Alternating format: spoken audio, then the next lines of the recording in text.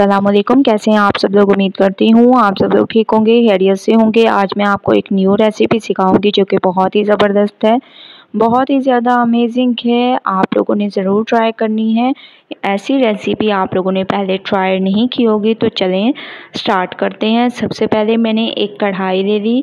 आप लोग देख सकते हैं, इसमें मैंने ऑयल नहीं लिया। सबसे पहले मैंने एक कढ़ाई ले ली। इसमें हम डाल देंगे सब्ज़ तुरई। ठीक है? ये सब्ज़ी जो है, आप लोग इस तरीके से बनाएँगे तो बच्चे और बड़े सब शौक़ से खाएँगे।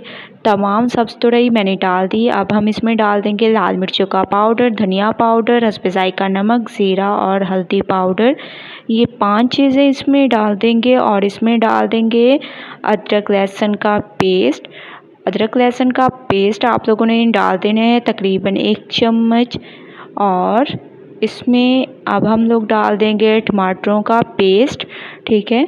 टमाटरों को मैंने फ्रीज़ करके रखा हुआ है, जैसे कि मैंने आप लोगों को पहले बताया है।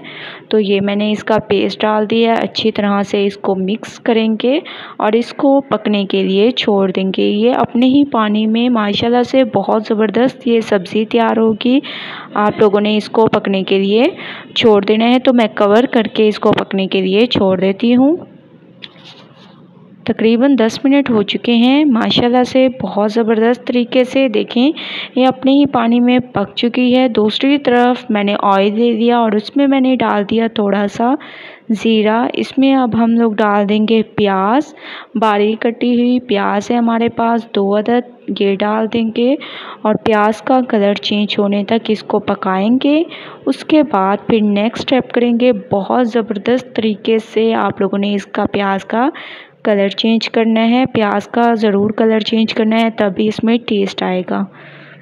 तो आप लोग देख सकते हैं, प्याज का कलर चेंज होने लग गया है, बहुत ज़बरदस्त तरीके से।